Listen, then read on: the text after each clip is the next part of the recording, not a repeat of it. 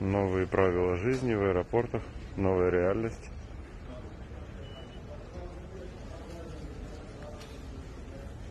Люди сидят в перчатках, в масках. Вот.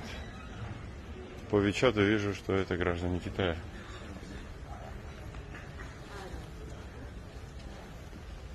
Мужчина необычно смотрится.